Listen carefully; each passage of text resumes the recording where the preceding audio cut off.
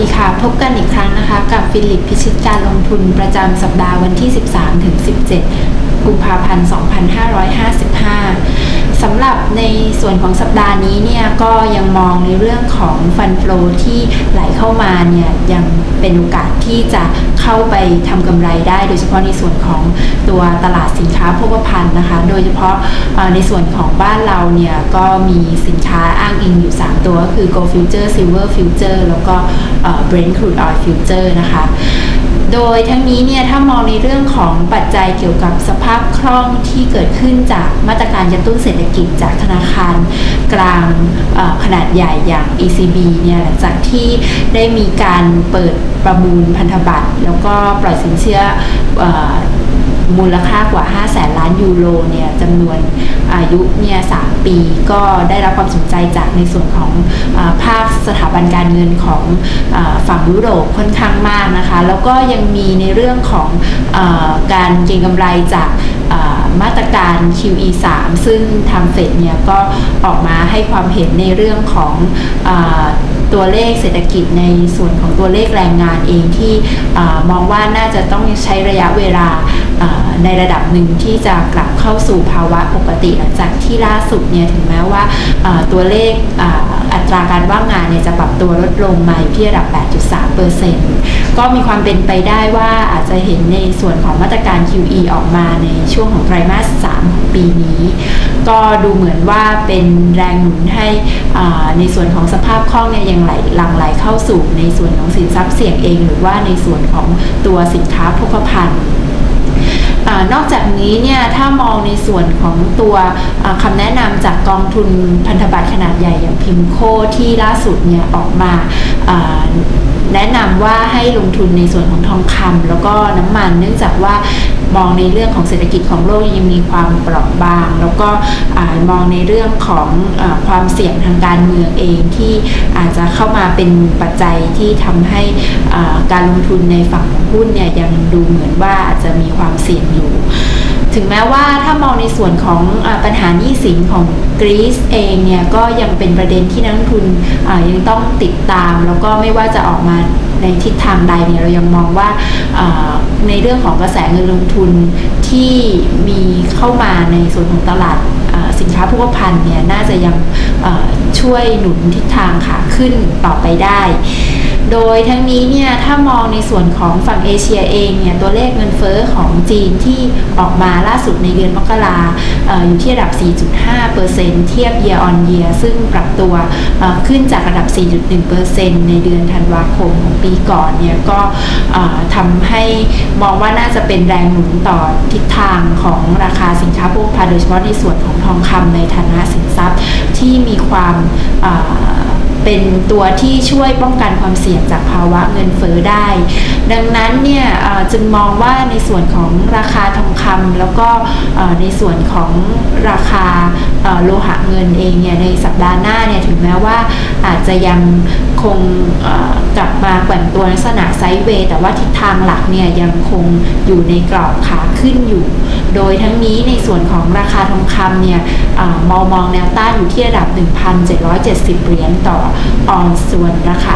แนวรับเนี่ยเรามองอยู่ที่ระดับ 1,710 เหรียญต่อออน ก็สำหรับกลยุทธ์การลงทุนเนี่ยเราแนะนำให้เข้า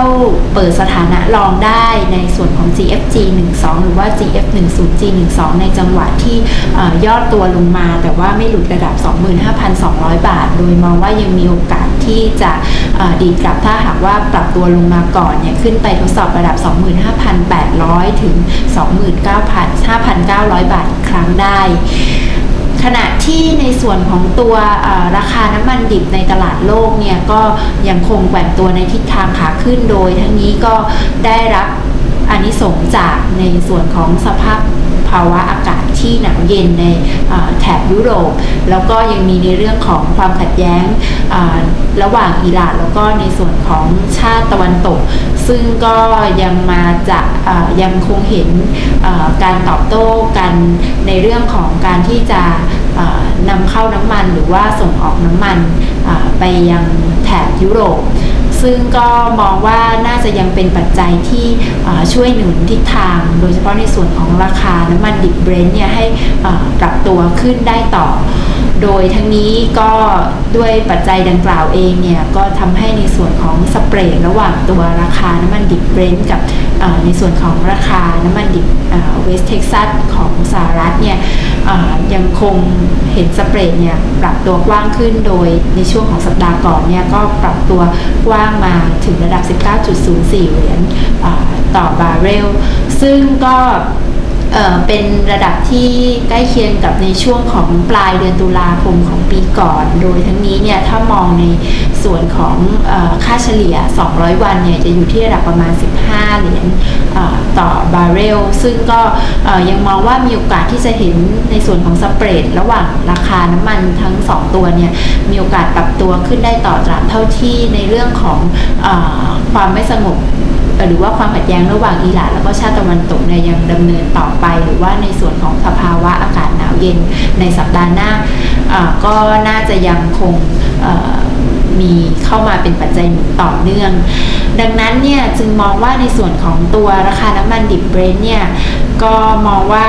หลังจากที่ถ้าดูสัญญาณทางเทคนิคเนี่ยทะลุแนวต้านขึ้นมาได้ก็สะท้อนภาพที่ค่อนข้างเป็น bullish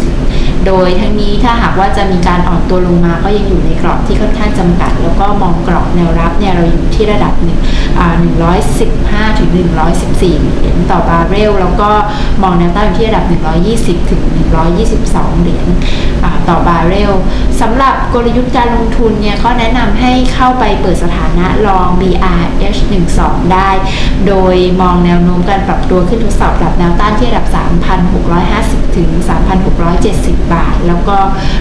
ป้องกันความเสี่ยงถ้าหากว่าอ่อนตัวลงหลุดระดับ 3,600 บาท โดยทั้งนี้ก็ให้พิจารณาทยอยตัดขาดทุนถ้าหากว่าหลุดระดับแนวรับที่ 3,600บาทลงมานะคะ ก็สำหรับสัปดาห์หน้าก็มองยังน่าจะเห็นการไหลเข้ามาของเงินทุน ซึ่งก็น่าจะเป็นแรงต่อทิศทางของตัวสินค้าพวกพันอยู่ แต่สำหรับในส่วนของกลยุทธ์การลงทุนที่เกี่ยวข้องกับตัว Safety Index ก็มองว่าในส่วนของสถานะที่แนะนำไปให้เปิดลอง S50 S12 แล้วก็ M12 เนี่ยแนะนำให้ปิดสถานะไปก่อน เนื่องจากมองว่าในเรื่องของกระแสเงินลงทุนที่ไหลเข้ามาเนี่ยอาจจะยังเป็นแรงหนุนแล้วก็มองว่าการลงทุนในส่วนของสถานะเอาไรเนี่ยอาจจะมีความได้เปรียบมากกว่า ขณะที่ในส่วนของสถานะช็อตพุทในสัญญาเดือนมีนาที่แนะนำไปก็ยังสามารถจะคงสถานะต่อไปได้ ก็สำหรับสัปดาห์นี้เนี่ยเราเน้นเป็นการเก็งกำไรในส่วนของสินค้าโภคภัณฑ์ ก็ขอให้นักลงทุนเนี่ยสามารถสร้างผลตอบแทนจากภาวะที่กระแสเงินลงทุนเนี่ยหลั่งไหลเข้ามาในภูมิภาคเอเชีย แล้วก็ในส่วนของตลาดบ้านเรานะคะ แล้วก็กลับมาพบกันอีกครั้งค่ะกับฟิลิปพิชิตการลงทุนในสัปดาห์หน้าสวัสดีค่ะ